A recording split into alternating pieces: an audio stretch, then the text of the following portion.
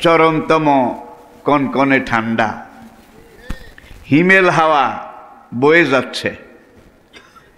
যার জন্য আমি সেদিকেও খেয়াল রাখব। আর বিশেষ করে আমি নিজেই তো একজন। আজ থেকে ছাপ্পান্ন বছর আগে নাগেরহাটে রায়পুর বড় মসজিদে যখন এই তাফসি শুরু করি ছাপ্পান্ন বছর আগে আল্লাহু আকবার আল্লাহু আকবার এতদিন অনেক মানুষ হায়াতও পায় না। আর আমার একটা অভ্যাস ছিল কোরআনের হক কথাগুলা নির্দ্বিধায় নিঃসংকোচে নির্ভয়ে বলে যাওয়া। তখন থেকে একদল লোক কত রকম কত কিছু করেছে। তারা এক সুরে বলেছে লুতুমালানার বেল শেষ। তাদের বেল কিন্তু অনেক আগে শেষ হয়ে গেছে কিন্তু লুতুমালানার বেল এখনও তাহলে এই এই বেল রাখার না রাখার মালিক কে? লেকুল্লে নাফসি নাজাল। প্রত্যেক মানুষের জন্যে প্রত্যেক জীবের জন্যে একটা মেয়াদ একটা টাইম একটা সময় নির্ধারিত আছে। ফায়জা যা আজালুহুম লা ইয়াস্তা খেরুনা সাতাও অলা ইয়াস্তাক দেমন আপনারা তেলাওয়াত করেন। নির্ধারিত সময় যখন এসে যাবে, জীবন ঘড়ি ঘুরতে ঘুরতে ঘুরতে ঘুরতে নির্দিষ্ট লাল দাগের উপরে যখন এসে থেমে যাবে, তখন আপনার জীবন প্রদীপ নিভে যাবে। আর মৃত্যু এমন এক জিনিস সব কিছুর ক্রমিক নম্বর আছে, পরম্পরা আছে, সিরিয়াল আছে। মরণ এমন জিনিস যেটার কোনো সিরিয়াল বাপ থাকতে ছেলে মরে না। ভাই থাকতে ছোট ভাই। তাহলে বোঝা গেল মরণের সিরিয়াল নাই। যে কোনো সময়। আর আমাদের কার ভিসার মেয়াদ কত গিয়েছে, কত সামনে আছে, এটা কি আমরা কেউ জানি? যদি আল্লাহ এটা জানাই দিতেন যে তোমার হায়াত এই পর্যন্ত, তাইলে আপনারা আমরা মরণের দশ বছর আগ থেকেই মরে যেতাম। সময় তো শেষ। আর কত?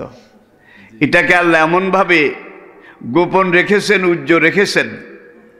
মানুষ আশা করে আরও কত বছর বাঁচবো, কত বছর বাঁচবো। বাল তু সেরুন আল হায়াত আর দুনিয়া, অল আখেরা তো খায়রু ও আবকা।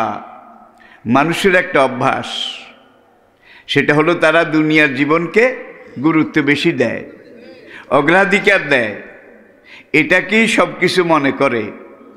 অল আখেরাত অথচ আখেরাত।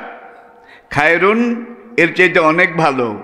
ও আবকা সেটা চিরস্থায়ী অনন্তকাল ব্যাপী। পড়ুন আলহামদুলিল্লাহ।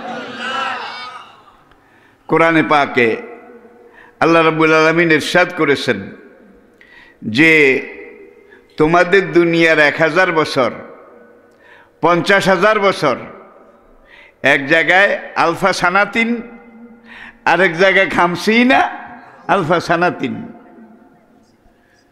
দুনিয়ার পঞ্চাশ হাজার বছর, আখেরাতের একদিন।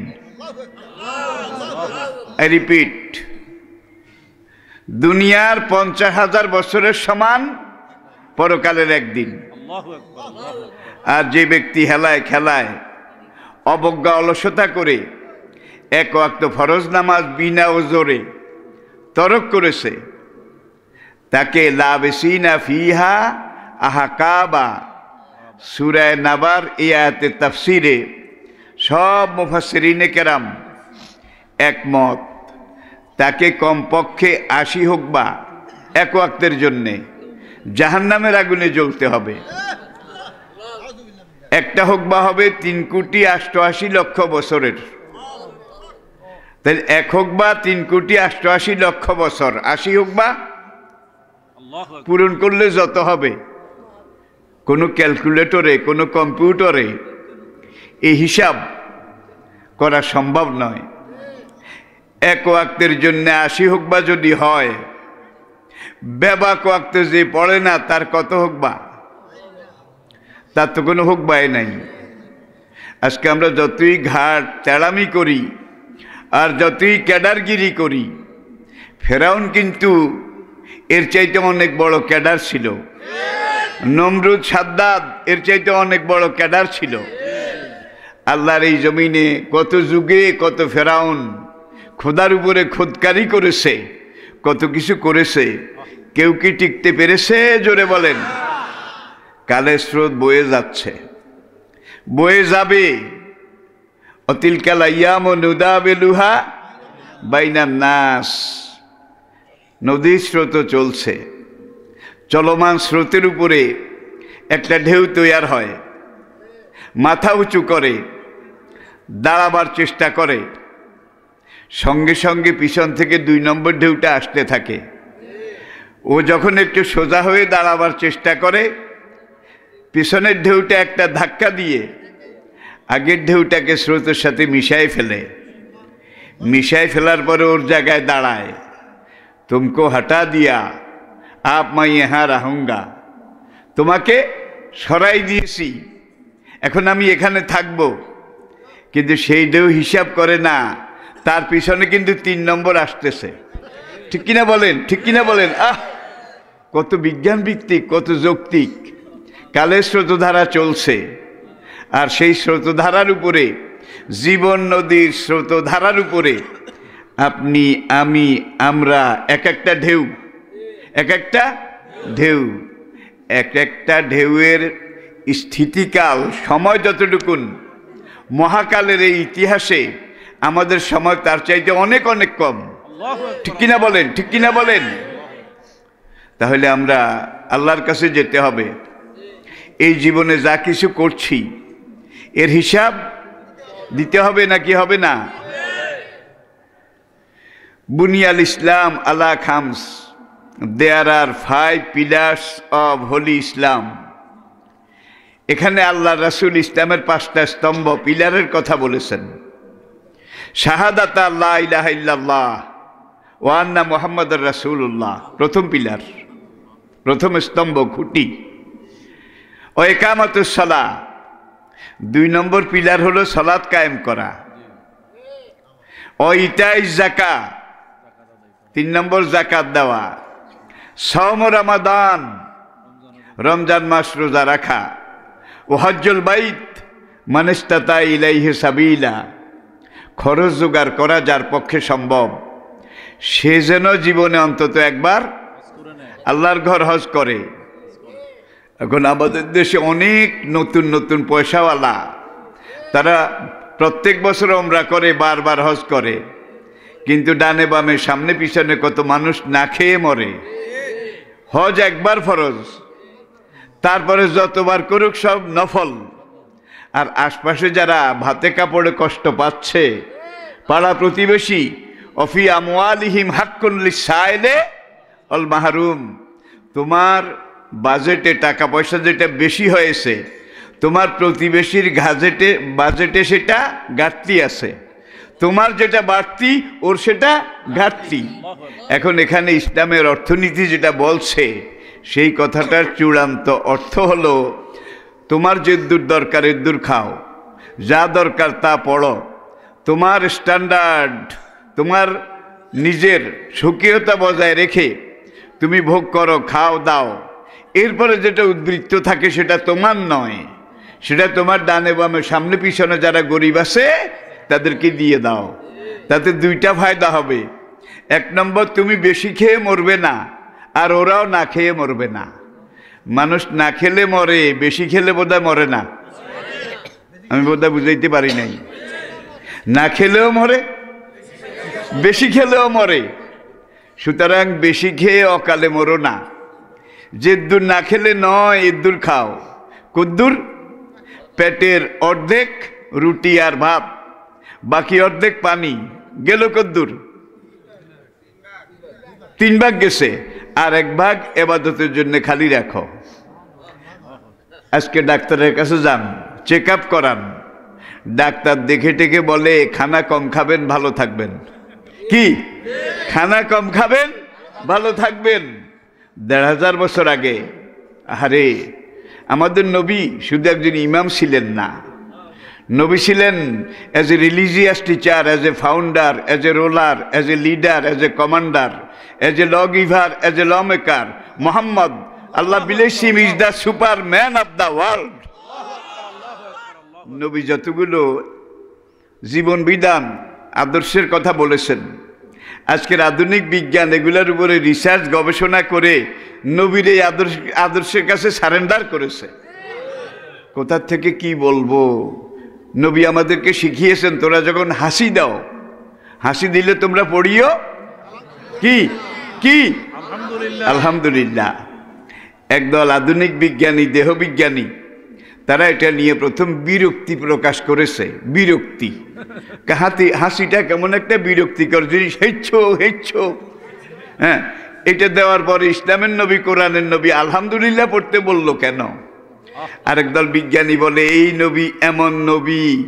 তিনি অযৌক্তিক অবৈজ্ঞানিক একটা কথাও বলেন নাই।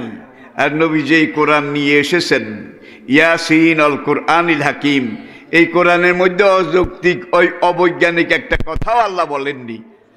আজকে বিজ্ঞান যেই যেই লাইনে বালেগ হয়েছে পূর্ণতা পেয়েছে ম্যাচিউর্ড হয়েছে এই লাইনগুলো প্রত্যেকটা কোরআনে এসে মিলে যাচ্ছে। আর বিজ্ঞানের যেই লাইন এখনও কোরআনে মিলছে না, বুঝতে হবে এই লাইন এখনও বালেক হয় নাই, না বালেক যখন বালেক হবে, কোরআনের সাথে মিলে যেতে বাধ্য হবে। ঠিক কিনা বলেন? আসুন। এখন এই খানার কথাটা প্রথমে এক নম্বরে আসুন। আমরা যেই হাসি দেই এটাকে একটু দেখুন। তখন একদল বিজ্ঞানী বলল এই নবীর কথার মধ্যে যুক্তি আছে দর্শন আছে বিজ্ঞান আছে ফিলোসফি আছে তোমরা এইটারে হাসিটাকে একটু অ্যানালাইসিস করো গবেষণা করো। হাসিতে লাভ কদ্দুর আর ক্ষতি? কদ্দুর। তারা হাসির উপরে গবেষণা করেছে ষোলো বছর। ষোলো বছর গবেষণা করে তারা হাসি এটার মধ্যে পেয়েছে মানুষ যখন হাসি দেয় তার লাংস হার্ট ফুসফুস এখান থেকে যেই বাতাসটা বেরিয়ে আসে না কেবল মুখ দিয়ে এই বাতাসটার গতি ঘন্টায় একশো ষাট মাইল। দশ নম্বর সিগন্যাল হতে এত তেজ নাই। একশো ষাট মাইল। এই বেগে যখন হাসিতে নাক মুখ দিয়ে বাতাসটা বের হয় আপনার হার্ট বাল্ব লিভার কিডনি পিত্ত ব্লাডার ফুসফুস পোস্টেড গ্ল্যান্ড প্রত্যেকটা অঙ্গ থেকে লক্ষ লক্ষ রোগ জীবাণু, যেগুলো নিঃশ্বাসের সাথে ঢুকেছিল, হাসির সাথে সব বের হয়ে যায়। যার জন্যে আমাদের নবী শিখিয়েছেন, হাসি দিস জীবাণু বের হয়ে গেছে, আলহামদুলিল্লাহ পড়ো। আল্লাহ একবার বিজ্ঞানীরা থান্ডার্ড হয়ে গেছে। দেড় হাজার বছর আগে একজন অক্ষর জ্ঞানহীন নবী, তিনি এই স্বাস্থ্যবিধি আর লাঞ্চকে এইভাবে হাসি যে ওয়াশ করে তিনি যে আলহামদুলিল্লাহ খুশির খবর। রোগ জীবাণু বেরিয়ে গেছে, আলহামদুলিল্লাহ পড়ো। আবার নবী শিখিয়েছেন, তোমরা যখন হামি দাও, কি?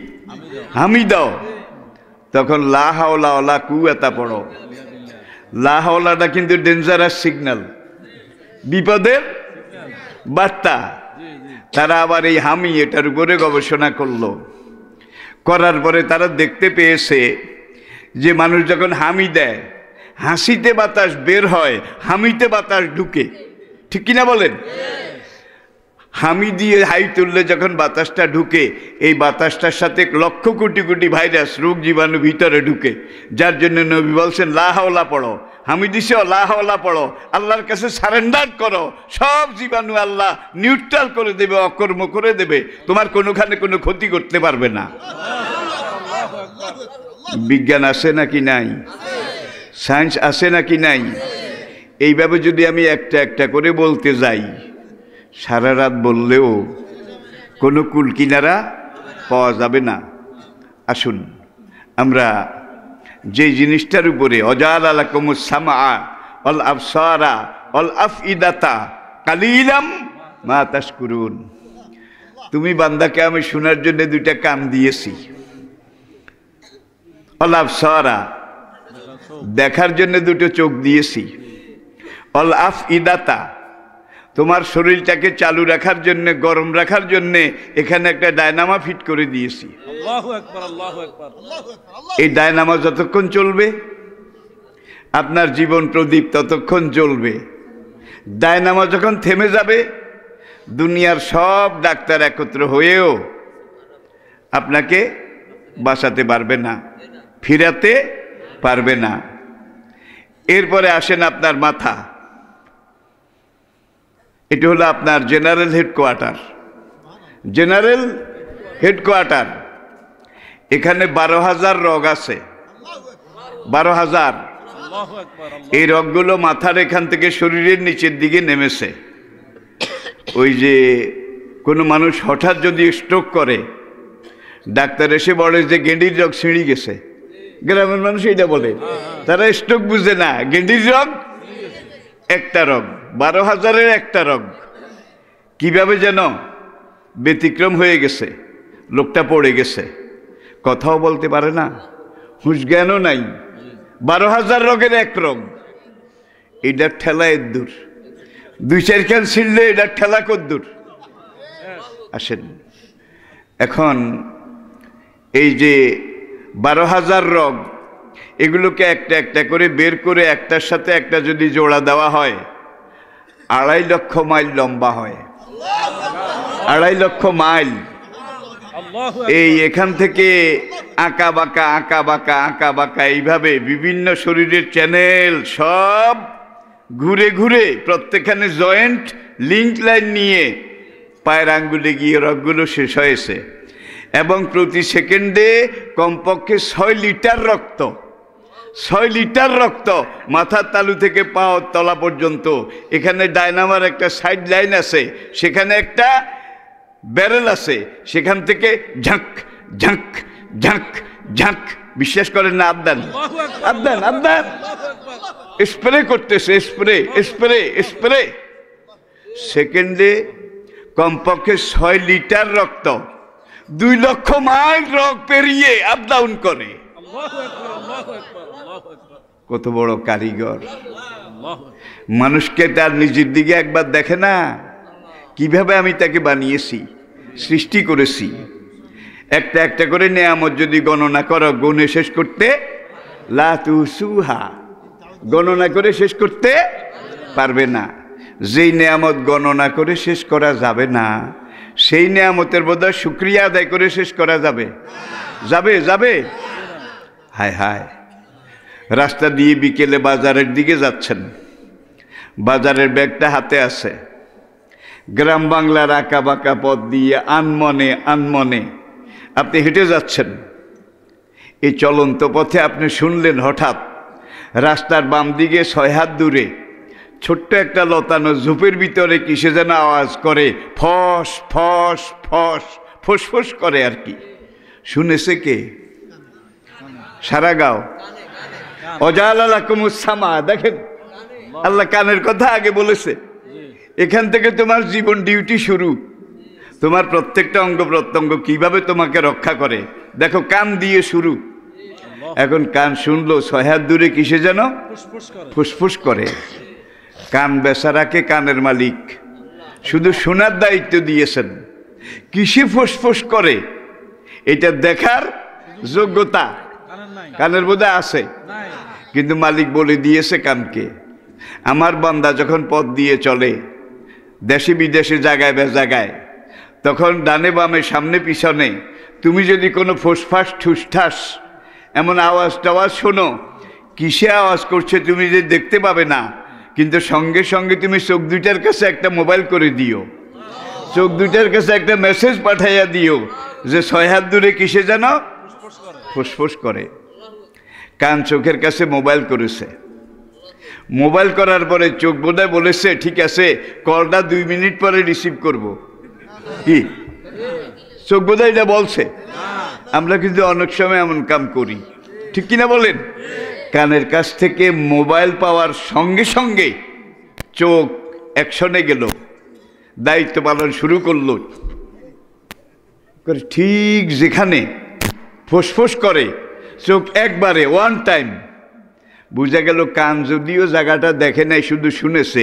কিন্তু কোন জায়গায় ফুসফুস করে, কত ডিগ্রি, কত পয়েন্ট কত দূরে, কীভাবে, এই জায়গাটা চোখের কাছে মেসেজে ঠিকই পাঠাইছে।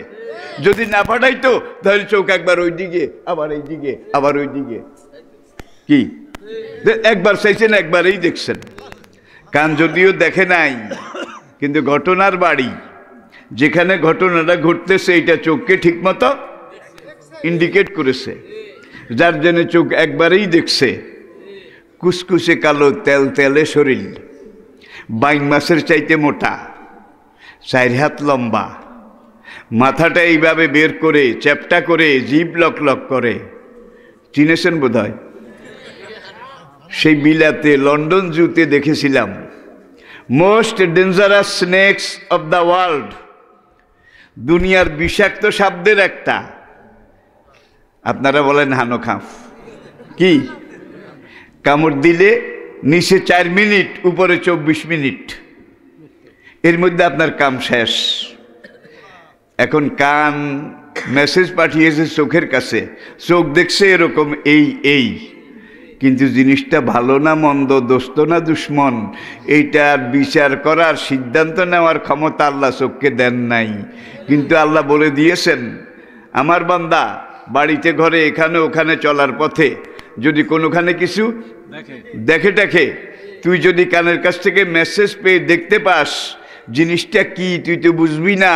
তুই জেনারেল হেডকোয়ার্টারে একটা মোবাইল করে দিবি। তুই হেড অফিসে একটা মোবাইল করে দিবি। দেখেন, এখন চোখ সাপ দেখছে। চোখ এবার ব্রেইনের কাছে মোবাইল করেছে। কীভাবে? কালা কুসকুসা। বাইং মাসের চাইতে মোটা। তেল, তেলে শরীর এত বড়, এইভাবে আছে। মাথা কিন্তু সাপ দেখে নাই। চোখের কাছ থেকে মেসেজটা পেয়েছে। ঠিক কিনা বলেন? এক সেকেন্ড লাগেনি সে সিদ্ধান্ত নিয়েছে তোর জন্মের শত্রু। যদি একবার কামড় দেয় বাসা লাগবে না। এখন বাঁচতে হইলে হাতে লাড়ি লও। আবার লাড়ি লইতে হইবে এটা হাতের কাছে মেসেজ পাঠাইছে। কে? Head office head office brain brain এখন লাডি টাডি নাই। এবার ব্রেন কয় লাডি যখন নাই খাড়াই রিসত। দে দৌড়। সে পাও দুইটার কাছে টেলিফোন করেছে। বাঁচতে হইলে দৌড় দে। দিছেন দৌড়। সাপ দেখার কয় ঘণ্টা পরে দৌড় দিছেন কয় মিনিট পরে? কয় সেকেন্ড পরে? গ্রাম বাংলার মা বোনেরা বলে আলাজিলা খাড়া জিলিক। দেখতে দেরি দৌড় দিতে দেরি নাই। মাঝখানে কানের ডিউটি চোখের ডিউটি দেমাগের ডিউটি হার্টের ডিউটি পায়ের ডিউটি। এখন ব্রেন যদি বলতো ঠিক আছে চোখ আমার কাছে একটা মোবাইল করেছে এই এই কালো এই এই এই। আমি মোবাইলটা দুই মিনিট পরে রিসিভ করব। তাইলে জায়গায় গিয়ে আপনাকে তো দূরের কথা আপনার লাশও খুঁজে পাওয়া যেত না।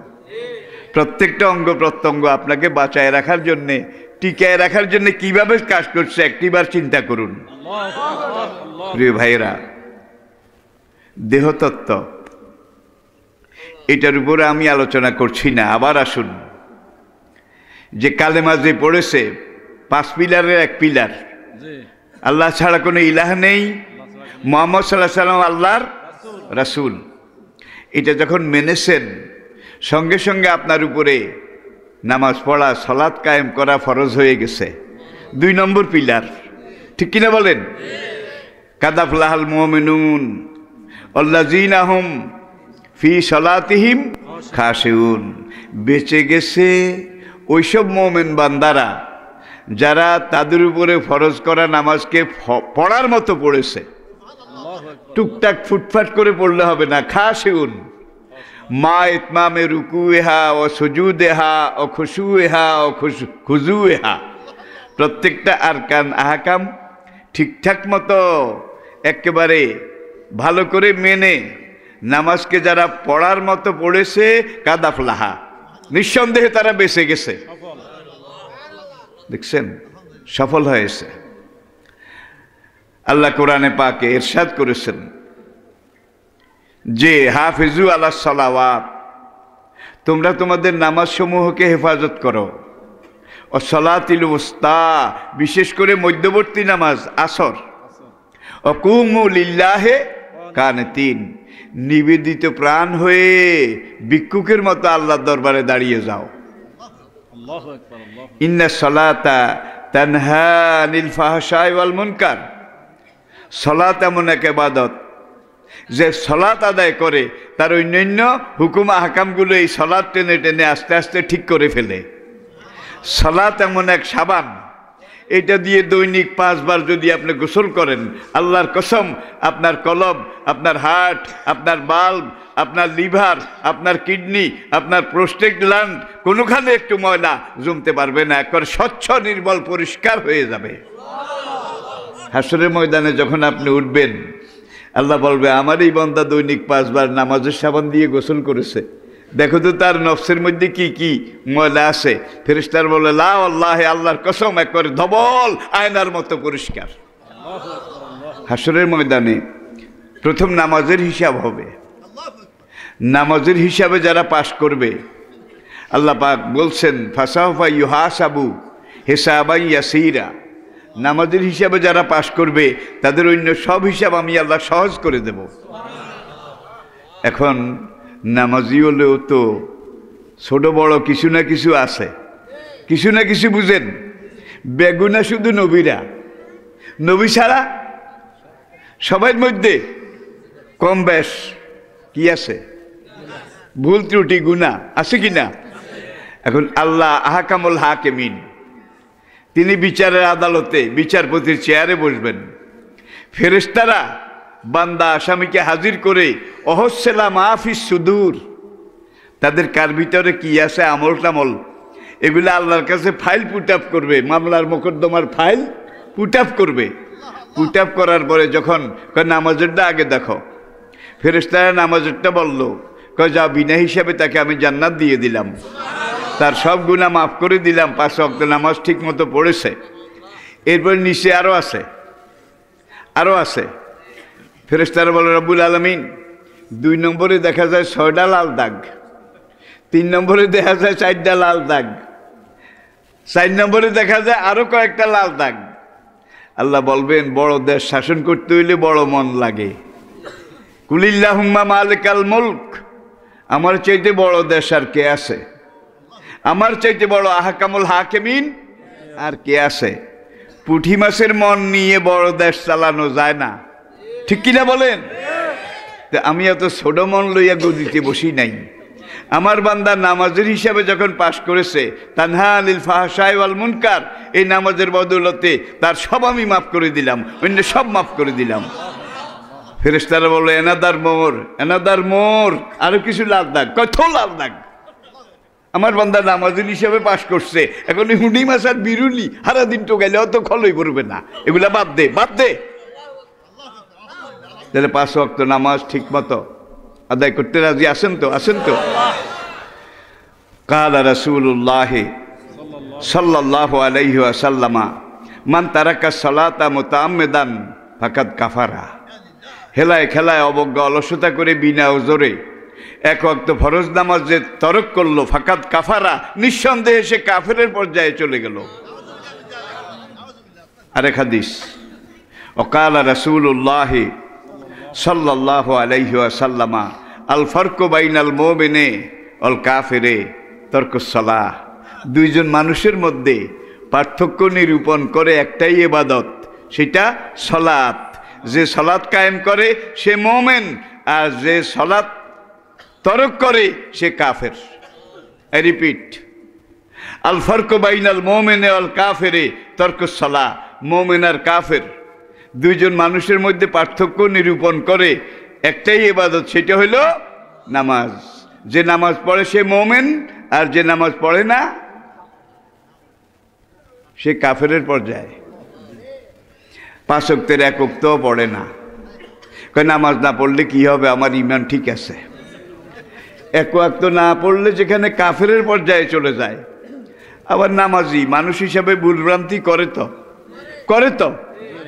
এখন একজন নামাজি, সে দাড়ি রেখেছে সে নবীর সুন্নত টুপি মাথায় দিয়েছে। নবীর সুন্নত জামা, এটা সে ব্যবহার করেছে। এটা হলো আল্লাহর সৈনিক, আল্লাহর খলিফা, তাদের ইউনিফর্ম ইউনিফর্ম। এখন ইউনিফর্ম ততক্ষণ পর্যন্ত কামে লাগবে। যতক্ষণ র্যাবের খাতার লিস্টে আপনার নাম আছে। র্যাবের খাতার লিস্টে যদি নাম না থাকে, আপনি লম্বা জামা এইটা ওইটা পাগড়ি যায় বাঁধেন। শুধু কাম হবে না, দুনা খাওয়ান লাগতো না বোধ দুনা? কি? মানে খাতায় নাম নাই। এখন আপনার নামাজ তরক করেছেন, খাতা থেকে নাম? দুই বন্ধু রাস্তা দিয়ে যায়। দুজন নামাজ পড়ে। এখন একজন আরেকজন রেখা, ভাই রে, আসলে তো নামাজ পড়ি, কিন্তু যেই নামাজ আমরা পড়ি, এই নামাজ দিয়ে আসলে বাসাও যাবে না, আশাও করা যায় না। তখন দ্বিতীয় বন্ধু বলে, বাসাও যাবে না, আশাও করা যায় না, তাহলে পড়িস কেন? কারে ভাই, এই জন্য পড়ি, না পড়লে তো খাতা থেকে নামটাই কাটা যাবে। ঠিক কিনা বলেন? তাইলে আপনার দান নিরাকার কোবাক। কাম বেশি করুক আর ন করুক, আল্লাহ জিজ্ঞেস করবে, আমার কামলাম মাঠে আসেনি, খেতো আসেনি সা যদি খেতে থাকে, কাম না করলেও হাজিরা আছে, যা। এই উসিলে মাফ করে দিলাম। তাহলে আপনি মসজিদের খেতে হাজির হইবেন। নামাজ আপনি যেভাবে যত ভালো করে পড়ার চেষ্টা করবেন করবেন। আর কাদাফলাহাল মোমেনুন আল্লাহ জিনাহুম ফি সলাতিহিম খাসেউন এই আয়াতের তাফসিরে আল্লামা জারুল্লাহ জমকশরী রহমতুল্লাহ আলাই খুশু ও খুজু আর সলাত মেয়েরাজুল মোমেনিন মোমেন বন্দার মেয়েরাজ হইল নামাজ। পড়েন, আলহামদুলিল্লাহ। আলী রাদি আল্লাহ তালা খাইবার যুদ্ধে সেনাপতি ছিলেন, আপনারা জানেন। খাইবার যুদ্ধে কামুজ দুর্গ যখন মুসলমানরা অবরোধ করেছিলেন, দুশ্মন দুর্গের ছাদে উঠে পাথরের গোলা, মেনজানিক মেনজানিক এই গোলা নিক্ষেপ করছিল, তীর নিক্ষেপ করছিল মুসলমানদের দিকে। আলী রাজি আল্লাহ তালানুর পায়ে থোড়ার ভিতরে একটা তীর। বিষ মিশানো তীর, এটা ঢুকে গিয়েছিল। মুসলমানদেরকে আল্লাহ বিজয় দিলেন। ইহুদিদের পতন হলো। সাহাবাই কেরাম ক্যাম্পে ফিরে আসলেন। আলী রাদি আল্লাহ তালু আসলেন। মদিনায় ফিরে আসার পরে ওই তীরটা ভিতরে, গোষ্ঠের থোড়ার ভিতরে কিন্তু রয়ে গেছে। ধরলেই চিৎকার দেয়। একে তো তীর, আরও বিষ মাখানো। ধরাও যায় না ছোঁয়াও যায় না। পা ফুলে কলা গাছের মতো মোটা হয়ে গেছে। আল্লাহর নবীর সাহাবি আম্মার এমনি ইয়াসের রাদি আল্লাহ আনহু, তিনি এসে বললেন, ইয়া রসুল আল্লাহ হাজা বালো আলী। ওগো আল্লাহ রসুল, আপনার জামাই আলীর এই অবস্থা। কয়েকদিন আগে খাইবার যুদ্ধে পায়ের থোড়ার মধ্যে, গোষ্ঠের মধ্যে তীর ঢুকেছে। বিষাক্ত তীর। তীর খোলা যায়নি। এত ব্যথা। তোমরা চেষ্টা করেছ। কয়, তীরে হাত দিলেই চিৎকার দেয়, তীরে হাত দিলেই চিৎকার দেয়। এত ব্যথা। হুজুর তখন বললেন, এইভাবে পারবে না। তোমরা একটু গোপনে পাহারায় থাকো, আলী কোন সময় নামাজের নিয়ত করে। আল্লাহ একবার তফসিরে লেখে, মসজিদে নবীর বারান্দায় জমাতের আগে সাইদিনা আলী রাজি আল্লাহ তালা আনু আসরের চাই জায়গাত সুন্নতে জায়দার নিয়ত করলেন। নিয়তের সঙ্গে সঙ্গে আলী কিন্তু মেয়েরাজে চলে গেছে। ফাতা বেলাল ও আম্মার বেশি কিনা আম্মার এবং বেলাল দুই সাহাবি একটা ধারালো ছুরি নিয়ে আসলেন। আলী নামাজে দাঁড়িয়ে কেরাত পড়তেছেন। একজনের তীর টেনে ধরলেন আরেকজনে পোষায় পুরা গোস্ত কেটে ফেললেন। কেটে তীরটা বাইর করে এনে নবীজির কাছে জমা দিলেন। হ্যাঁ নবীজি এখন জিজ্ঞেস করে তোমরা যখন তীর অপারেশন করে টান দিয়ে বের করছিলে। আলী কি নামাজের মধ্যে চিৎকার টিৎকার দেয় নাই? তখন আম্মার রদি আল্লাহ তাল্লাহ বলেন আল্লাহ জি নফসি বিয়াদিহি। চিৎকার দেওয়া তো দূরের কথা। ওই আল্লাহ জাতে পাকের কসম করে বলছি, যার হাতে আমার জীবন। আলী যখন নামাজ শেষ করল, এখানে হাত দিয়ে ঘষে আর কয়, আজকে কয়েকদিন একটা তীর এখানে, এত কষ্ট দিল, এত ব্যথা, তীরটা কোথায় গেল, তীরটা কোথায় গেল? আম্মার আর আলী রাদি আল্লাহ তালা নুমা বলেন, আপনি যখন নামাজের নিয়ত করেছিলেন, গোস্ত কেটে আমরা তীরটা বের করে ফেলেছি, আপনি টের পান নাই? আলী জবাব দেন, আল্লাহ নফসি ওই আল্লাহ জাতে পাকের কসম করে বলছি, যার হাতে আমার জীবন যতক্ষণ আমি আলী নামাজে ছিলাম, তীর বের করার সময়, তীর বের করার সময় ব্যথা পাওয়া তো দূরের কথা। ততক্ষণ নামাজের মধ্যে রেখে আমাকে যদি হাজারবার লক্ষবার জবাইও করতা, আল্লাহর কসম আমি টের পেতাম না। মোমেনের নামাজ। আর আমরা নামাজের নিয়ত করলে অন্য সময় গাও খাই যায় না, নামাজের নিয়ত করলে চুলকায় বেশি। ঠিক কিনা বলেন? অন্য সময় দুনিয়াদারির কথা বেশি মনে পড়ে না। নামাজের নিয়ত করলে সই মুড়াগার কি অবস্থা, ছাগল গা কোনায় বাঁধি থুই আইসি, জানি কি হয় মানে একেবারে আগর মগর। ঠিক কিনা বলেন? এগুলো হবে। যেই ঘরে মাল আছে, চোর ডাকাত সেই ঘরের দিকে কিন্তু বেশি ডুমাডুমি করে। এক সাহাবি এসে বললেন, ইয়া রাসুল আল্লাহ অন্য সময় ঘর সংসারের কথা বেশি মনে হয় না। যখনই নামাজের নিয়ত করি একটা লাইন ধরে শিকল ধরে হ্যাঁ, ঘর সংসার দুনিয়াদারির কথা মনে আসে। হুজুর তখন বললেন তুমি আল্লাহ শুকর করো। তোমার ঘরে মাল পানি আছে। যার জন্য ইবলিশ বারবার তোমার ঘরে হানা দিতে চায়। এইটা মনে করায় ওইটা মনে করায় এইটা মনে করায়। এটা স্বাভাবিক। যখন মনে হবে তখন তুমি আল্লাহর দিকে রুজু হও। যতবার ওরা ঢুস মারবে তুমি আল্লাহর দিকে রুজু হও। যতবার রুজু হবে, আল্লাহ তোমাকে জেহাদের সোয়াব দান করবেন। তাহলে নামাজে এইটা, ওইটা, সেটা মনে হইল মন খারাপ, করার কোনো কারণ নাই। আল্লাহ হাসরের দিন শেষ মাস বলবে, বদলা খেতে আসিল কি না ক মসজিদে আইছিল কিন্তু গা খাই যাইছে। আর এই কথা এই কথা মনে করেছে। কয়, না, মসজিদে আসছে, এই মাফ করে দিলাম। প্রিয় ভাইরা তাহলে আমরা পাঁচ ওয়াক্ত নামাজ ঠিক মতো আদায় করতে রাজি আছি। শুধু আদায় করলে হবে না আর একটু কথা আছে। ওর কাউ মার রাকিন। অন্য রুকুকারীদের সাথে লাইন বেঁধে একত্রে দাঁড়িয়ে তোমরা রুকু করো। অসুজুদু বহু বছর লাইনে দাঁড়িয়ে সবাই একত্রে চেষ্টা করো। কোনটার কথা? কি? একলা একলা? একলা একলা? ইয়াকা না বুধু আমরা একমাত্র তোমার সাহায্য চাই। ও ইয়াকা নাস্তাইন, আমরা একমাত্র তোমার কাছে সাহায্য চাই। আমি না আমরা? আমি না আমরা? আরে ভাই, আমি নিয়ে আল্লাহ কোনো চিন্তাই করেন নাই। কোরআনের যত জায়গায় আল্লাহ নামাজের টার্মস কন্ডিশনস ব্যবহার করেছেন, সব জায়গায় নাহানু নাহানু, আমরা আমরা। ঠিক কিনা বলেন? এটা দিয়েও বোঝা গেছে, নামাজ শরীর কোনো ওজন না থাকলে জমাতে পড়তে হবে। ঠিক কিনা বলেন? জমাতে পড়ার মধ্যে আবার মনে করেন, এক জায়গায় পঞ্চাশ জন, একশো জন মুসলমান সফরে, জিহাদে, ভ্রমণে একত্র হয়েছেন বা আপনারা কক্সবাজার পিকনিকে যাচ্ছেন, এখন চকরিয়ার ওখানে গেছেন, নামাজের সময় হয়ে গেছে। বুঝার জন্য বলছি সবাই মুসলমান। এখন সেখানে গাড়ি থামিয়ে নামাজ আদায় করা ফরজ। নাকি মৌজ করলে চলবে? আগে আল্লাহটা ঠিক রাখে। আল্লাহর কসম, আল্লাহ আপনার সবগুলা ঠিক রাখবে আর যদি আল্লাহটা আপনি তাল বেতাল করেন, আপনার সব কাম তাল বেতাল হয়ে যাবে।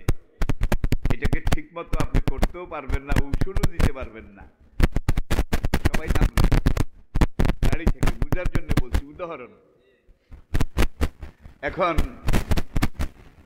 আজান একজনের জামাতে নামাজ পড়তে হবে। জামাতে নামাজ পড়তে হলে ইমাম বানাইতে হবে। এখন ভোট দিবেন কাহাকে? স্যারাগালি বদনাকে। কি? ইন্না আক্রামাকুম ইন্দাল্লাহে আতকাকুম। এই পঞ্চাশ জনের ভিতরে তোমার জানা মতো যে লোকটা সবচাইতে শরীয়তের পাবন্ধ সবচাইতে সুন্নতের অনুসারী সবচাইতে বেশি মোত্তাকি পরহেজগার। এই লোকটাকে তোমরা ইমাম হিসাবে ভোট দাও। একটা দায়িত্ব এই একটা কি? Ballot paper. আপনার এই ব্যালটের মাধ্যমে একবারে যাকে সবচেয়ে পারফেক্ট মনে করেছেন, তাকে ভোট দিছেন। কারণ আল্লাহর হক যারা আদায় করে, তারা বন্দার হকও আদায় করবে। আর যারা আল্লাহরে বুড়িয়া আঙ্গুল দেখায় পাঁচ অক্ত নামাজের সময় বুড়িয়া আঙ্গুল, তারা আপনাকে বলবে, আমাকে ভোট দিলে গরুর গাড়ির চাক্কার মতো জিলাপি খাওয়াবো, মোটকার মতো রসগোল্লা খাওয়াবো। আপনারা কেউ সেরেছে, এই তো পাইছে মনের মানুষ। কিন্তু একবারও চিন্তা করলেন না, গরুর গাড়ির চাক্কার মতো জিলাপি খাওয়াবে। এই জিলাপিটা কোন কড়াইতে ভেজেছে? এত বলো, কড়াই আছে নাকি? মোটকার মতো রসগোল্লা কোন কড়াইতে সিদ্ধ করেছে? সে তো স্বার্থের জন্য বলছে। এই যুগে কিন্তু এগুলোই চলছে। ঠিক কিনা বলেন? ঠিক কিনা বলেন? সুতরাং এগুলাতে ভুলা যাবে না। অ্যাজ এ পারফেক্ট ম্যান ইন্না আক্রামাকুম ইন্দাল্লাহে আতকাকুম। সবচেয়ে বাসুনি করা লোকটাকে ভোট দাও। আফটার অল সে তো মানুষ। তার মধ্যে লোভ আছে, কামনা আছে, বাসনা আছে। কাম, ক্রোধ, লোভ, মোহ, মত, মাৎসর্য ছয়রিপু তার মধ্যেও এখন প্রথম রাগার ঠিক মতো বসছে। ইমাম সাহেব, হুজুরে আর কি? আপনারা তো একটা যাইতে বেহাজাল ইমাম কই? হ্যাঁ। এখন আপনারা আল্লাহর দিনের এই ময়দানে আল্লাহর সৈনিক। একটু আগে আপনারা ফলিন। ফলিন বুঝেন। সফু সফু ফাকম স্ট্রেট ইউর লাইন প্লিজ আমি বিদেশে গেলে যখন ইমামতি খতিবি করি আর কি, তখন ওই বাংলা, ইংরেজি, আরবি, উর্দু চার ভাষায় বলা লাগে। কারণ দুনিয়ার বিভিন্ন দেশের, বিভিন্ন ভাষার, বিভিন্ন রঙের মানুষ। এখন আপনারা লাইনে দাঁড়িয়ে গেছেন। ইমাম সাহেব কমান্ড করেছে, কমান্ডিং অফিসার। আল্লাহ একবার এখন আল্লাহ বলছেন, এইবার তোমরা ইমামের এতায়াত করো। ইমাম কমান্ড করবে, তোমরা সেই হিসাবে আনুগত্য। কাজ করবে, ঠিক কিনা বলেন? এখন দ্বিতীয় রাগাতে ইমাম সৈরাসার হয়ে গেছে। এই দ্বিতীয় রাখাতে দাঁড়িয়ে ইমাম সাহেব আলহামদু সুরার কাছে ধারেও যায় নাই। দোয়ায় কুনুত পড়া শুরু করছে। কিন্তু আল্লাহ রসুলের তরিকা কি? লা সালাতা ইল্লা বেফাতেহাতিল কিতাব। মানলাম ইয়াকরা বেউমিল কোরআন। সুরায় ফাতেহা পড়তে হবে, এটা ফরজ। ওয়াজেবাতে সলাতের মধ্যে দেখে নিয়েন। এই বেটা এখন সুরে ফাতেহার কাছেও যায় নাই। দাঁড়িয়ে দোয়া কুনুত পড়ে।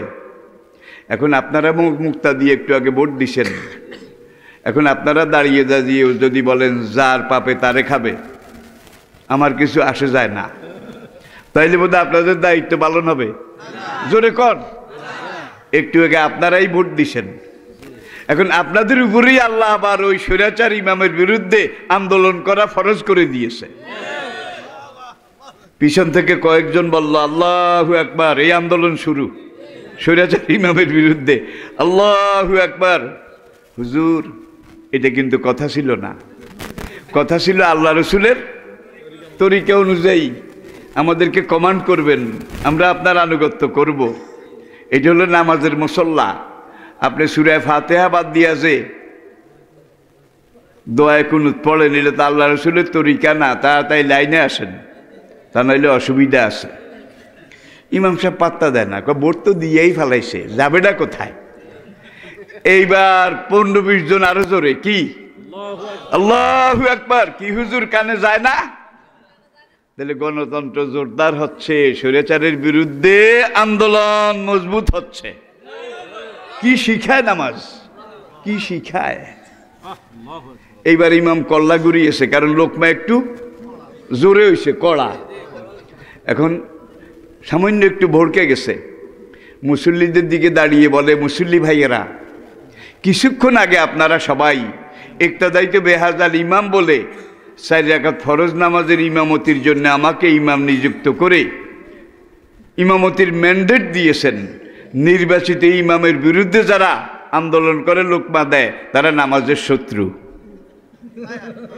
এই কথা বলার পরে আপনারা লোকমা বন্ধ করে দেবেন। আচ্ছা আসেন, আসতেছি আসতেছি। আবার এই যুগে কিছু ইমাম কিন্তু ক্যাডার নিয়ে হাঁটে। ক্যাডার সঙ্গে করে চলে। আপনারা যখন জোরদার লোকমা দিয়েছেন, মোসোয়ালা ক্যাডার দুই তিনজন এত বড় এক ছুরি বাইর করছে দশ ইঞ্চি। বাইর করে বলে, নির্বাচিত ইমামের বিরুদ্ধে যে টু শব্দ করবে, তার জিব্বা কেটে ফেলব। এবার কিছু মুসল্লি কয়, লোকমা তো দুইবার দিছিলাম আর একবার দিতাম চাইছিলাম দেশ খারাপ, সময় খারাপ, যান বাঁচান ফরজ। এখন আর লোকমা দেওয়া যাবে না। আমাদের অধিকাংশ মুসলমান কিন্তু এই টাইপের হয়ে গেছে। ঠিক কিনা বলেন? ঠিক কিনা বলেন? হ্যাঁ। এরা মুনাফেক। জোরে বলেন, এরা কি? জোরে বলেন, এরা কি? মোনাফেক কিন্তু কাফেরের চাইতে খারাপ। ইন্নাল মোনাফেকিনা ফিদ্দার কিল আসফালে মিনার নার। আল্লাহ পাক কত ডাইরেক্ট কথা বলেছেন, দেখুন। এখন যখন বলছে, জিব্বা কেটে ফেলব, এই করব, সেই করব। আল্লাহ এইটাও আবার আমাদেরকে বলেছেন, লাউ মাতা লাইমিন ক্যাডারদের লাল চোখ সব নবিয়ে দেখছে। কি? ফেরাউনের লাল চোখ এর চেয়ে লালা ছিল ফেরাউনের ক্যাডারগিরি নমরুদের ক্যাডারগিরি এর চেয়েতে বেশি আসিল কিন্তু মুসার লোকজন ধমকে থেমে গেছে। থেমে গেছে? মক্কাতে আল্লাহ নবীর সাহাবিরা ধমকে থেমে গেছে নাকি? কোনো ধমকে এদেরকে ধরবে না। বিরোধিতা যত হবে, মোমেন দিনের পথে তত মজবুত হবে। ঠিক কিনা বলেন, ঠিক কিনা বলেন? এইবার পুরা মসজিদ থেকে আরও জোরে, কি? আল্লাহ আকবার। স্বৈরাচারী ইমাম, সাবধান দিস ইজ আওয়ার আখিরি লোকমা টু ইউ শেষ লোকমা এইটা হয় লাইনে আসেন?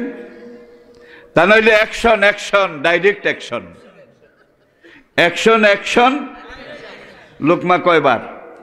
জোরে বলেন, কয়বার? এগুলোও তো আল্লাহ আল্লাহ রাসুল শিখাইছে, কত ভালো করে। লোকমা দিতে দিতে যদি আমাদের ওয়াক্তই চলে যায়। লোকমা দিয়ে সব হলো কি? তাহলে তিনবারের বেশি লোকমা নাই। তিনবারে যদি স্বৈরাচারী ইমাম লাইনে আসে, তাইলে তোমরা এটা আনুগত্য করো। আর যদি লাইনে না আসে, ফালা তুতে মান আকফাল না কালবাহু আনজেক্রে না অত্তাবা হাওয়াহু অকান আমরুহু ফরতা। দেখছেন কারবার? ওই ইমামের আনুগত্য করা যাবে না। যে ইমাম লোকমা দেওয়ার পরেও সঠিক পথে আসে না। ঠিক কিনা বলেন? আর রাসুল ইরশাদ করেছেন এই আয়াতের ব্যাখ্যা। লা তালে মাখলুকিন ফি মাসিয়াতিল খালেক। আল্লাহর হুকুমের বিরুদ্ধে কোনো স্বৈরাচারী নেতার আনুগত্য করা যাবে না। দেখেন না নামাজ কি শিখায়? শুরু থেকে একটু মিলান না। কি শিখায় আমাদেরকে? আল্লাহু একবার এইবার আর লোকমা নাই। তিনবারে লোকমা শেষ। এইবার পিছন থেকে মুসল্লি একজন। ডাইন পাও জায়গায় থাকবে, বাম পাও এক কদম আগাবে। দোনো পাও আগালে কিন্তু আমলে কাসির হবে।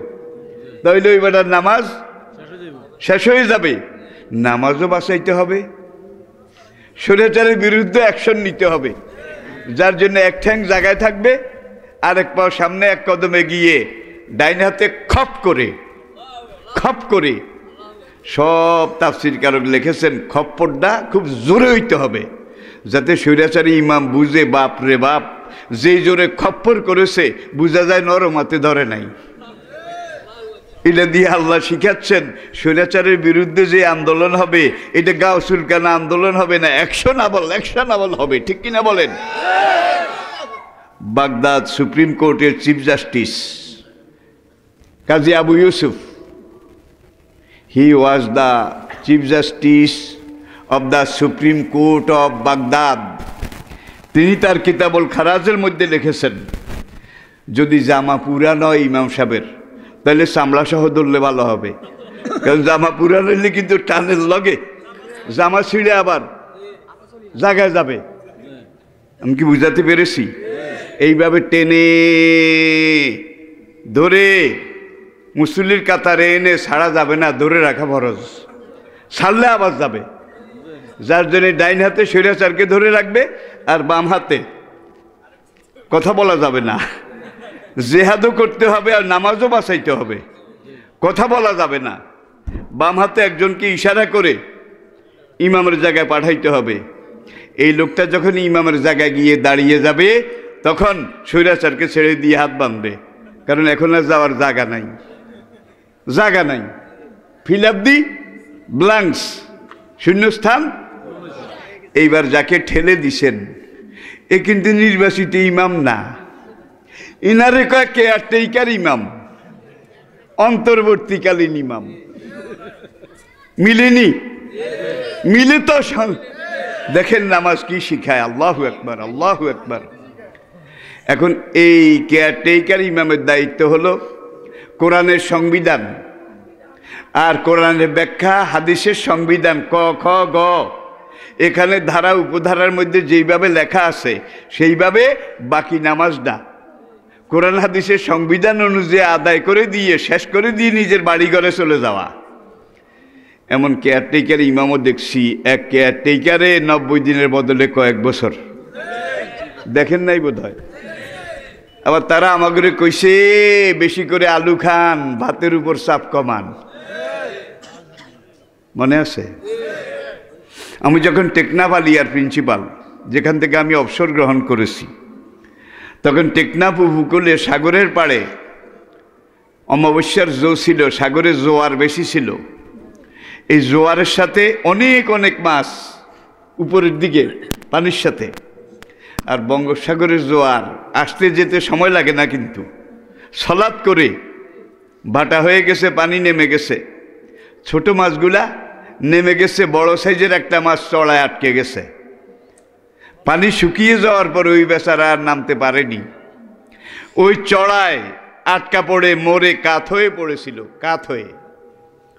সকালবেলা গ্রামের ওই গরিব মানুষেরা, ছোট ছোট ছেলে মেয়েরা সাগরের পাড়ে ঝিনুক, শামুক, কাঁকড়া, এগুলো সংগ্রহের জন্য প্রতিদিন ঝাঁকে ঝাঁকে আসে, আজকেও এসেছে।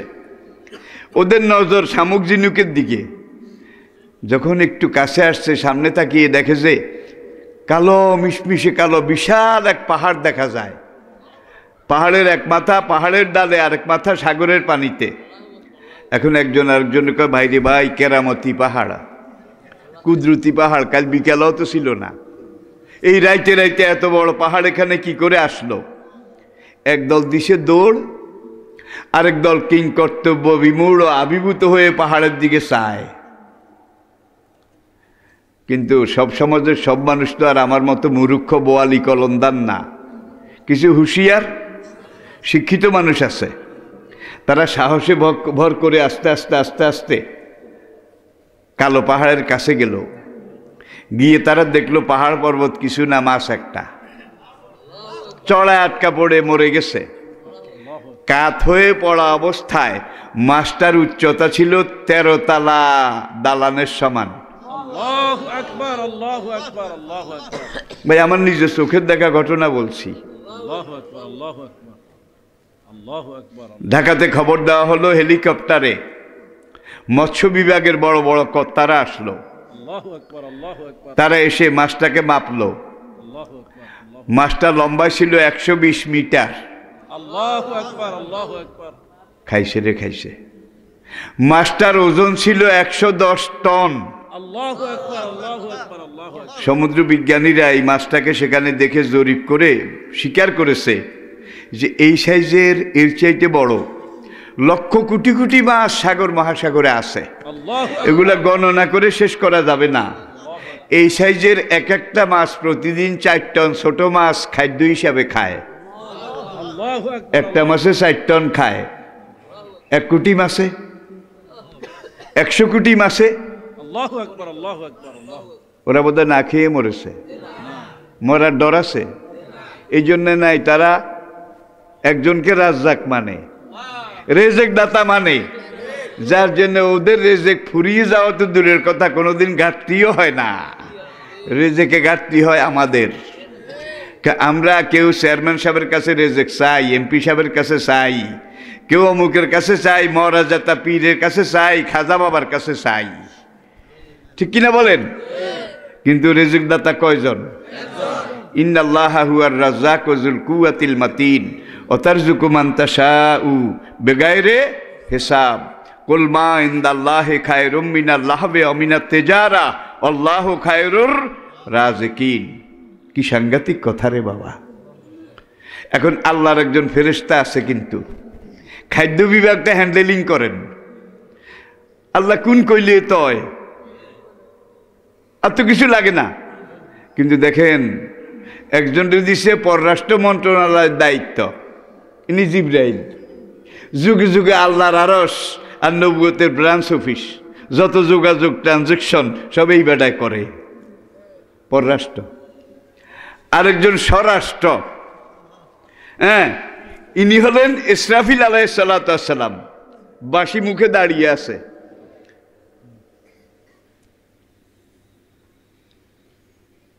আদম থেকে কেয়ামত পর্যন্ত যত মানুষ এসেছে, আসবে। বাসিটাতে এতগুলো ছিদ্র আছে। সাতটাবক আসমান, জমিন, পাহাড়, পর্বত শান সূর্য, গ্রহ, নক্ষত্র, এই সব মিলিয়ে এগুলার ওজন যে দূর হবে? বাসিওয়ালার বাসিটার ওজন তার চাইতে সত্তর হাজার গুণ বেশি। বাসিটার এক মাথা মাসরেক আর এক মাথা মাগরেব। আল্লাহু আকবার আল্লাহু আকবার। অনন্ত বিশ্বচরের এই মাথা থেকে সেই মাথা। সে তার ডাইন হাত বাঁশির গোড়ায় বাম হাত বাঁশির মাঝখানে। এইভাবে মুখের সাথে বাঁশিটা লাগিয়ে।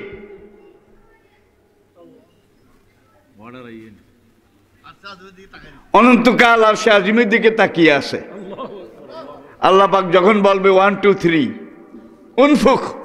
সঙ্গে সঙ্গে ফু দেবে। এই ধরার মধ্যে কোটি কোটি বছর চলে গেছে এই বেলায় কবার গাখাই যেছে কন। নাকি? যেইভাবে আছে সেইভাবে ঠিক কিনা বলেন? এনাকে আমি বুঝার জন্য বলছি আর কি স্বরাষ্ট্র মন্ত্রণালয়। যতদিন দরকার রাষ্ট্র রক্ষা করবে আর যেদিন হুকুম হবে এক বাঁশিয়ে ফোঙো কুল্লমান আলাইহা ফান। জালালে। আরেকজন আছে খাদ্যমন্ত্রী, মিকাইল আলাহ সালাম।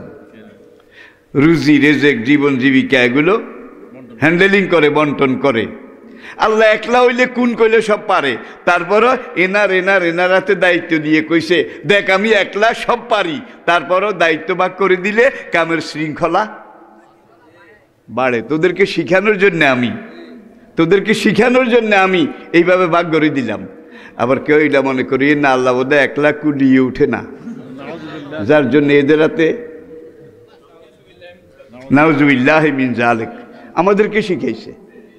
আর যদি কোনো দেশে one man command one man command বড় ছোট মাঝারি মাজ্জা সাজ্জা যত মেয়ে আছে, সব কয়, যেটা কইব। ফেরাউন নমরুদ সাদ্দাদের দিকে তাকান। তাদের এই অবস্থা ছিল, ঠিক কিনা বলেন? আর খাদ্য বিভাগ যে দেখে মিকাইল, সে বোধহয় কোনো একদিন সাগরের কিনারে এসে পানির কাছে মুখ নিয়ে ষাট টন এক বেলায় খাওয়া মাছ ওদেরকে লক্ষ্য করে বলেছে, বেশি করে শ্যাওলা খান, মাছের উপর চাপ কমান। কইছে না জোরে কর ওখানে চাপ কমানোর দরকার নাই। রেজেকের কোনো অভাব নাই। কোনো একটা ইতর প্রাণী, সুন্দরবনের বাঘ, জঙ্গলের হরিণ না খেয়ে মরে নাই, রেজেকেও কষ্ট পায় নাই। আজকে আমাদের মানুষের কারণে ওরাও রেজেকে কষ্ট পাচ্ছে। ঠিক কিনা বলেন? আমরা পাহাড় আগে কেটে সাফা করেছি। এখন পাহাড়কে মেশিন দিয়ে কেটে কেটে পাহাড়ের মাটিগুলা পর্যন্ত নিয়ে বিক্রি করে দিচ্ছি। আমি কি বুঝাতে পেরেছি? এই যে মাত্র কিছুদিন আগে আমি Malaysia, Indonesia, Singapore, South Korea, Japan, একেবারে আমুদরিয়া পর্যন্ত গেছি। সেখানে পাহাড়কে তারা কীভাবে সংরক্ষণ করেছে আল্লাহ? একটা বালুও তো নামতে দেয় না।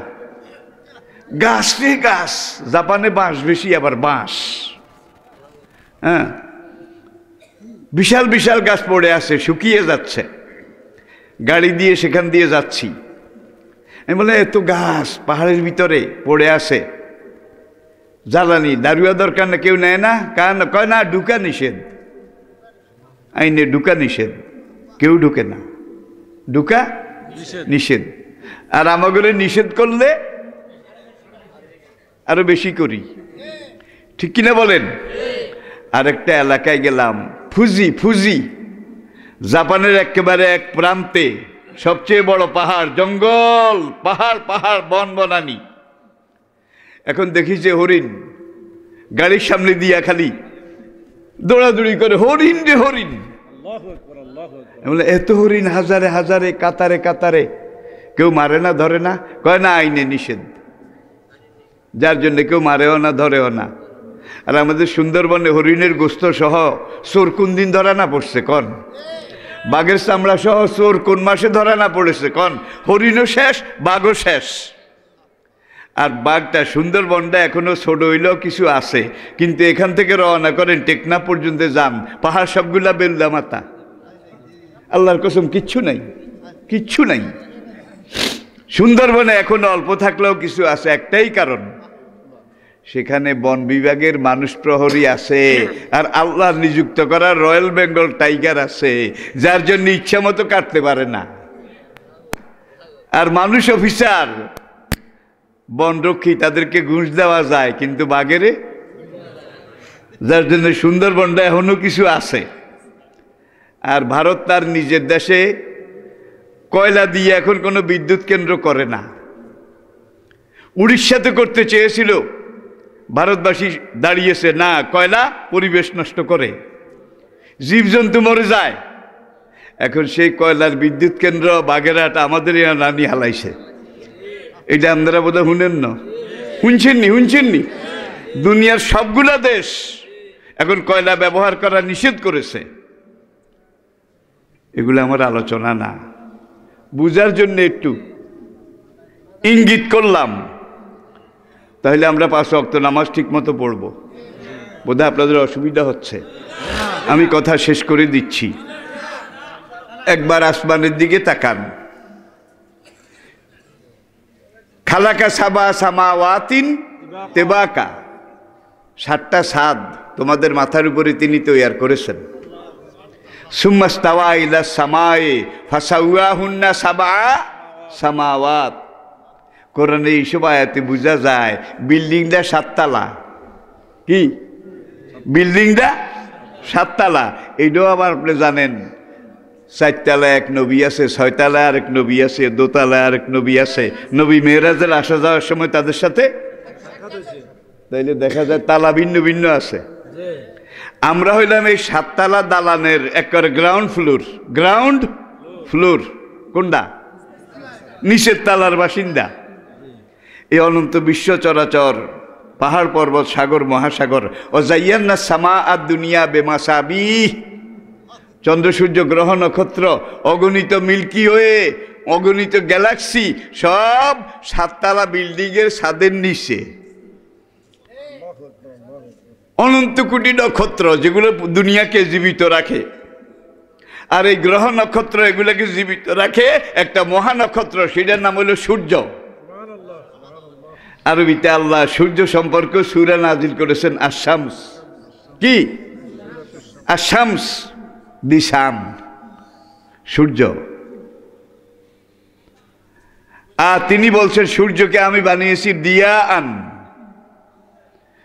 জ্বলন্ত এক প্রদীপ। ইজা শামসে কুব্বেরাত। এমন একদিন আসবে, সূর্য তার আলোক উজ্জ্বল হারিয়ে নিভে যাবে।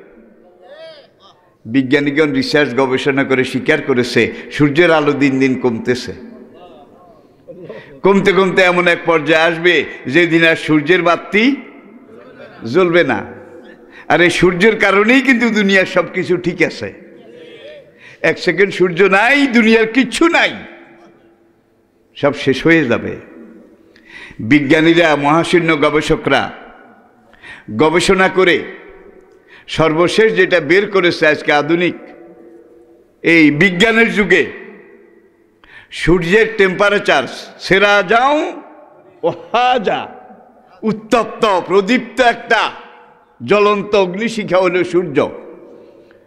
বিজ্ঞানীরা সূর্যের উপরে গবেষণা করে বের করেছে সূর্যের টেম্পারেচার তিরিশ কোটি ডিগ্রি সেলসিয়াস। বাইশশো ডিগ্রিতে লোহা গলে, পাকা ইস্পাত লোহা। বাইশশো ডিগ্রি তাপ দিলে গলে পানি হয়ে যায়। তিরিশ কোটি ডিগ্রিতে কি গলে? খাইছে। আর এই সূর্যটা হাইড্রোজেন গ্যাসে জ্বলছে, হাইড্রোজেন গ্যাস। প্রতি সেকেন্ডে তিরিশ কোটি টন হাইড্রোজেন গ্যাস সূর্যের জ্বালানি দারুয়া হিসাবে লাগে। সেকেন্ডে তিরিশ কোটি টন।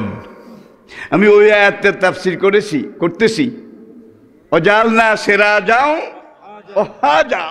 একবার সেকেন্ডে তিরিশ কোটি টন হাইড্রোজেন গ্যাস। আর হাইড্রোজেন গ্যাস হলো দুনিয়ার সবচাইতে মারাত্মক। বিষাক্ত গ্যাস। আপনারা জানেন দ্বিতীয় মহাযুদ্ধে জাপানের হিরোসীমা নাগাসাকি। এই দুইটা শহরে আমেরিকা হাইড্রোজেন বোমা ব্যবহার করেছে। এই কিছুদিন আগে জাপান সফরে আমি সেখানেও গেছি। আর জাপানিরা হলো দুনিয়ার মধ্যে সবচাইতে বেশি টেকনিশিয়ান, গবেষক। শুধু ইলেকট্রনিক্স কি, গাড়ির বাজার কার হাতে? জাপানের গাড়ি না গেলে আমেরিকা অসল ব্রিটেন, জার্মানি, ফ্রান্স অসল টয়োটা আমাদের দেশে বেশি যেই গাড়ি টয়োটা টয়োটা কারখানায় দেখতে গেলাম প্রতি বিশ সেকেন্ডে একটা গাড়ি বাইর হয়। প্রতি বিশ সেকেন্ডে একটা গাড়ি বাইর হয়। তাই মিনিটে চারটা। আবার আরেকটা গেট আছে। ওখান দিয়ে টয়োটা আরেক মডেল সেখানেও বিশ সেকেন্ডে একটা। আরেক গেটে টয়োটা আরেক মডেল এক এক গেট দিয়ে এক এক মডেলের গাড়ি বের হয়। প্রতি বিশ সেকেন্ডে একটা। জাপানের নিজস্ব লোহা নাই এক তোলাও নাই। নিজেদের কোনো জ্বালানি গ্যাস ডিজেল অকটেন এগুলোও নাই। তারা লোহা ভারত থেকে নেয় আমেরিকা থেকে আনে। আর গ্যাস মধ্যপ্রাচ্য থেকে আনে। লোহাও বিদেশ থেকে আনে গ্যাসও আনে। বিদেশ থেকে আনে। আজকে দুনিয়ার সব তথ্য প্রযুক্তির বাজার, কল, কবজা, লোহা সব কিছু জাপানের হাতে। পুরা দুনিয়া জাপানের হাতে জিম্মি। আর আমরা নিজেদের গ্যাস দিয়া নিজেদের চুলা জ্বালাইতে কষ্ট হয়। ঠিক কিনা বলেন? তাহলে ঘাটে ঘাটে আমাদের দুর্গতি। আর জাপানের সততা যদি না থাকতো, তাইলে বিদেশ থেকে জিনিস এনে পুরা দুনিয়ার মার্কেট দখল করা এটা সম্ভব? চুরি কারে কয় তারা জানে না। আর আমাদের ইসলামিক ফাউন্ডেশনের ডিজি শুকর, আলহামদুলিল্লাহ। গত দশ বছরে দশ হাজার কোটি টাকা। একলা যাব বলছে দশ হাজার কোটি টাকা। দাড়ি টাড়ি টুপিয়ে দুরুস। দেখলে মনে করবেন হুজুর দি গ্রেট। দয় আল্লাহর কোনোদিন মাদ্রাসার বারেন্দা দিয়েও আনবে না। বড় বড় পদ এই জন্য পাই সে হাতে ম্যান সেরুমিয়া গো একজন। ম্যান সেরুমিয়া আর এই ম্যান সেরুমিয়ার কারণে আমাদের সব শেষ সব শেষ। এটা আমার আলোচনার বিষয় নয়।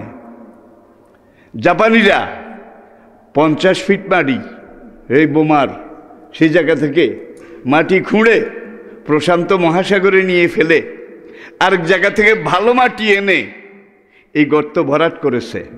তিন দিন পরে দেখা গেছে এই মাটিগুলো হাইড্রোজেন গ্যাস হইয়া গেছে। কাজে লাগানো যাচ্ছে না। তো কিছু কিছু বিজ্ঞানী বলছে সেকেন্ডে তিরিশ কোটি টন খাইছে রে খাইছে। কোন দিন আবার এই গ্যাস শেষ হয়ে যায়। তাহলে সেরাগ নিভে যাবে। কাছে আশেপাশে রিজার্ভ আছে কি না এটা দেখো। তারা সূর্যের চারিদিকে রিজার্ভেশন গ্যাস এটা পরীক্ষা করে তারা দেখেছে এবং স্বীকার করেছে।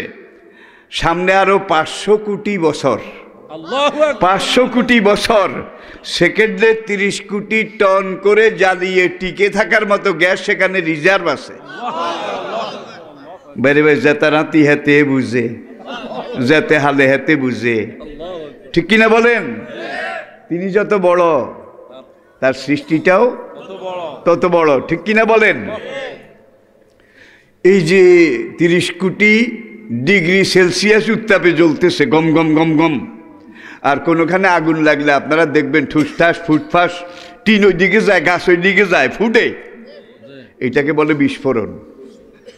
আগুনের তাপে বিস্ফোরণ। সূর্যের এখান থেকে প্রতি সেকেন্ডে লক্ষ লক্ষ বিস্ফোরণ ঘটে। এই বিস্ফোরণের সাথে হাইড্রোজেন গ্যাস, চাকা চাকা দলা দলা গ্যাস নিচের দিকে পড়ে। একটা আয়াত আল্লাহ পাক বলছেন, তোমাদের মাথার উপরে আমি আল্লাহ একটা অদৃশ্য আকাশও তৈরি করেছি। অদৃশ্য আকাশ। যেটা তোমরা দেখতে পাও না। বিজ্ঞানীরা এটাকে পরীক্ষা নিরীক্ষা করে, মহাশূন্য গবেষণা করে এই অদৃশ্য আকাশ, অদৃশ্য ছাদ, তারা দুইটা জিনিস পেয়েছে। একটা হলো গ্রিন হাউস এফেক্ট শিক্ষিত ভাইয়েরা বুঝে গেছেন। একটা হলো গ্রিন হাউস এফেক্ট, আরেকটা হলো ওজন স্তর। ওজন স্তর। সূর্য থেকে হাইড্রোজেন গ্যাসগুলা নিচের দিকে, জমিনের দিকে পড়ে।